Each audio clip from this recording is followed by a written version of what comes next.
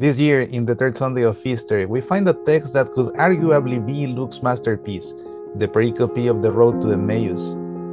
What was Luke's purpose when writing this text, unique to his gospel? Stay with me, and we'll find out.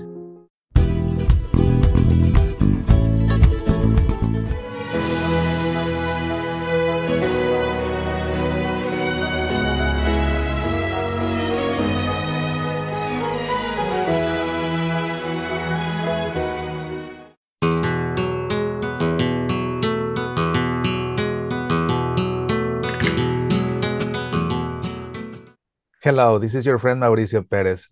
Throughout Easter, in the Gospel in Mass, we learn how to meet Jesus, who died on a cross and is now risen. Last Sunday, we saw how we meet him as the crucified Son of God, and that's why he shows his wounds on every apparition to his apostles, who is now risen, and also by experiencing his mercy through the sacrament of reconciliation, which he instituted then. This time, we learn another way to meet the risen Lord through the road to Emmaus. We all know the story of the road to Emmaus. Two disciples abandon Jerusalem and head towards Emmaus. They do it downcast, hopeless, and disenchanted, feeling everything they dreamed, hoped, and expected has completely failed. Their master died hanging from a cross.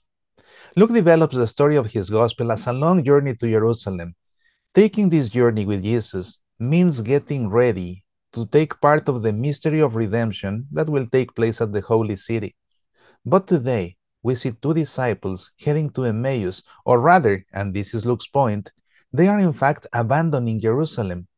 The road to Emmaus itself is the antithesis to Luke's gospel. But it is then that Jesus approaches these two. He explains the scripture to them and later breaks the bread with them. He can then vanish to their eyes while remaining truly present for they are certain now that Jesus is always present every time they break the bread.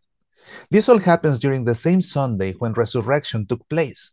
Luke wrote his gospel around year 70 when liturgy was taking shape. Up to those days, it had been a custom for early Christians to gather in the synagogue to hear and explain the Word of God. Then they would gather at homes to celebrate the breaking of the bread. As years went by, Christians were not well seen by Jews who didn't convert to Christianity, so it was no longer easy for them to be welcomed at the synagogue. At the same time, more and more people were converting to Christianity from pagan religions who were not used to going to a synagogue at all. So Christian communities needed to find a new place to hear and explain the Word of God. Some did it on the road. Some others began doing it at homes already prior to the breaking of the bread. And this is how our liturgical celebration took the shape we know until our days. First, the liturgy of the Word. Second, the liturgy of the Eucharist. When writing his Gospel, Luke took the true account of Jesus appearing to those two disciples, which is also mentioned by Mark in his Gospel, and elaborated his story as a Eucharistic catechesis.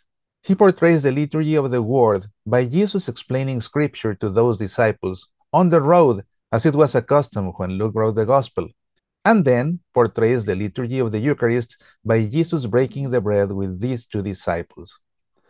And all of this is set on Resurrection Sunday precisely to make the point that every time we break the bread, every time we celebrate Mass, we are doing so on the same Sunday Jesus was risen from the dead. The joy and excitement of these two disciples who recover their faith by listening to the word and by breaking the bread is such that they have to run back to Jerusalem to meet the rest of the disciples and tell them, We have seen Jesus and he is risen. Do you want to experience his presence as well? Let's break the bread.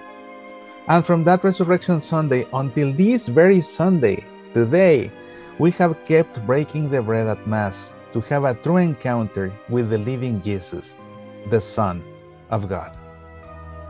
Until next time, be passionate about our faith.